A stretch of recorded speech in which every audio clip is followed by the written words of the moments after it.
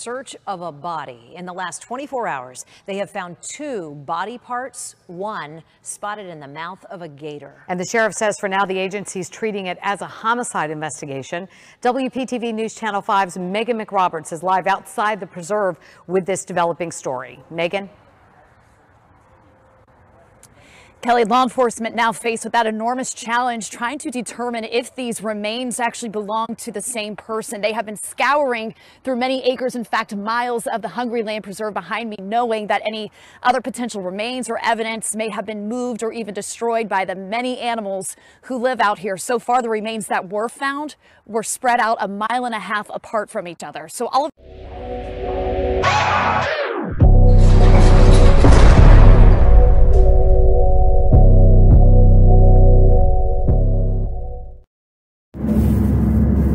what's up with it, man? Whiteboy Lockdown Radio here. Uh, back with another one, man. You ain't subscribed, make sure to go ahead and subscribe.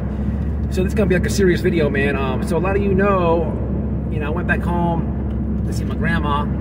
You know, that's my home. You know, that's where I grew up. Know a lot of people there. Uh, you know, while I was there, I learned of something that's all over the news. You see the little clip that I put in here. Um, you know, a dude that I was in prison with, got murdered. Um, you know, from what I know, he was dumped off in an area. If I had to describe it or explain it, it's probably a little bit smaller than the reserve area where Laundrie was found, right? Just a totally different location. Um, but a biologist was out there doing her thing, and she and she thought she saw an alligator with a man's arm or hand you know, the alligator had it. So they call the sheriffs up, blah, blah, blah, blah. And next thing you know, there's a manhunt out there, and yep, they identify him. You'll see the pictures and all that that I add to this.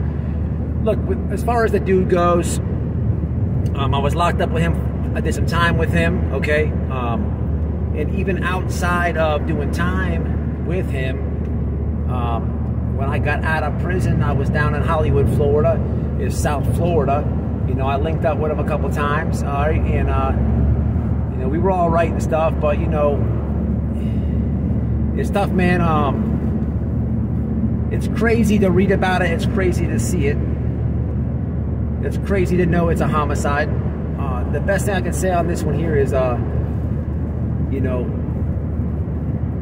people, places, and things, man, and choices. You know what I'm saying? Uh, I had to get out from, I had to move away from the same spot that I seen him, right? Because look, you know, you do time, you go back to the same people, places, and things, and same choices you make. And look, when I seen him, when I got up with him, it wasn't like we were going to church. You see what I'm saying? And uh, you know, from what I understand, you know, he he he went somewhere else and uh you got to break habits, man. Habits will uh, always always hold you back, man. Uh, habits will always hold you back. Uh, you know, just, we're just two different people.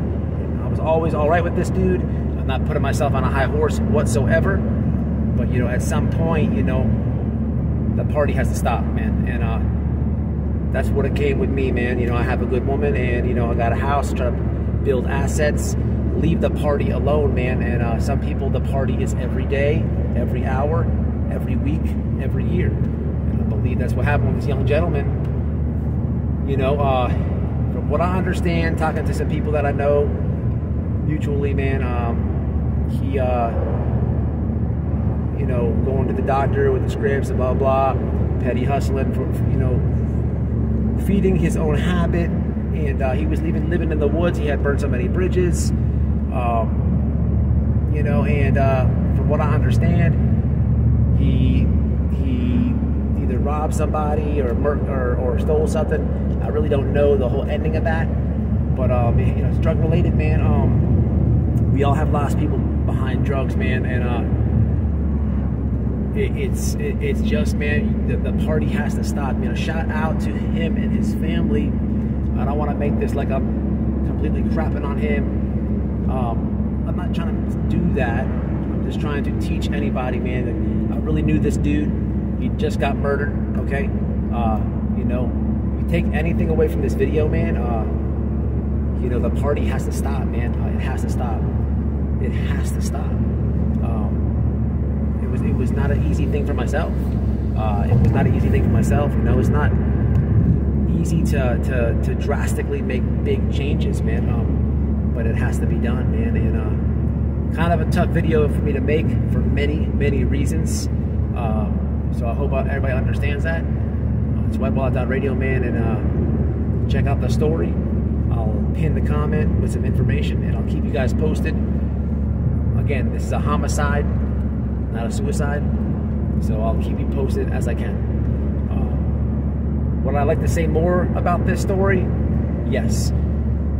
If you watch this channel and you're really subscribed to this channel, you've heard me say this many times. People are watching, man. Uh, be careful what you say on social media. And I think I'm gonna take some of my own advice. To the next one.